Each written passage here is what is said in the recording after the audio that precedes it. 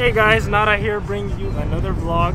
This time we're also covering another pop-up event. Uh, we are here at Smile Fest, which is uh, actually uh, from the company that does the Nendroids and all those other cool figures.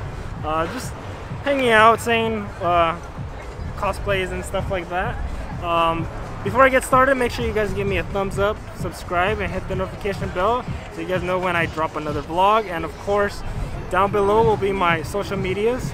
And I wanted to ask a question today. Who is your best boy from My Hero Academia? Um, I guess you can say I'm wearing it. So yeah, let me know. And uh, with all that said, let's get into it.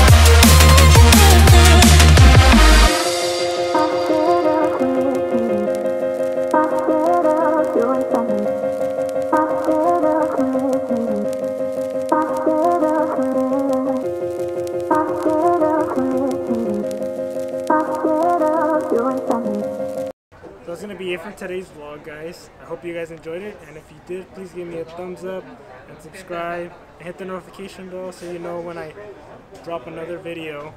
And as always, thank you guys for watching.